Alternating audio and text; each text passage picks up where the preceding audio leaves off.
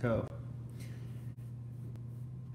I just had my Ninja blender, or anyway, just the one we've got here at the house.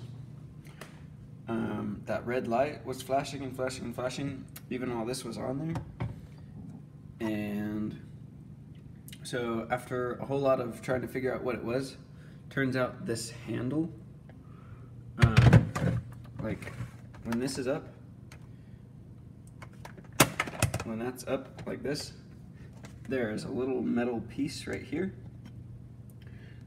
that pushes this button right here down. And that in turn goes through the handle down here. And one sec, only got only got two hands. Um, so it's got this thing down underneath, right there. Wow, that's not a very good picture. Anyway, uh, let's see. I'll close this one so right. Okay, so it's got this little thing right in here that if you watch when I open and close that lid, that goes up and down. But as you can see, mine is broken.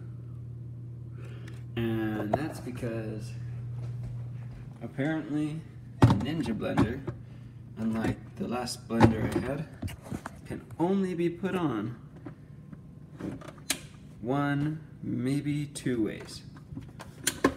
I think this way might work too. Yeah, anyway, so only the two ways. But I tried to put it on, so the handle had to be either here or here to finish. But I tried to put it on with the handle in the back, and therefore broke my blender. And it would not turn on until I could get that fixed. And so, after hours, literally, of trying to figure out how to fix this, my roommate walked in and said, You'll figure something out. And so I did. And I took a toothpick and I wedged it right there.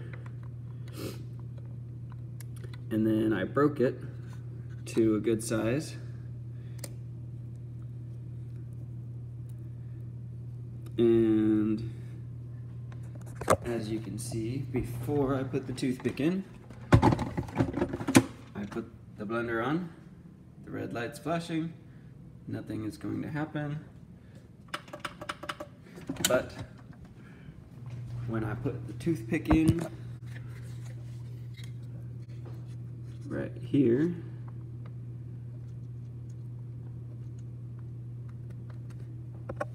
And before I do this, I'll just explain a little bit of why that is. It's because it's got these little things. Like, if you watch the red light right here, and this little thing right here that I'm trying to push with the toothpick, if I push it in, it's the red light stops flashing, and I can push this. But without that, nothing. Anyway, so now that we've got the toothpick in there, that might be a little long. Hopefully it still fits. Oh, look, look. See? I was about to break it again. Apparently the handle can't go in the back. So, gotta remember, handle goes in the front. I'm gonna put that on. Red light's working. Throws everything everywhere. Yum, yum, yum, delicious. And there you have it. Toothpick fixes Ninja Blender. Well, good luck everybody.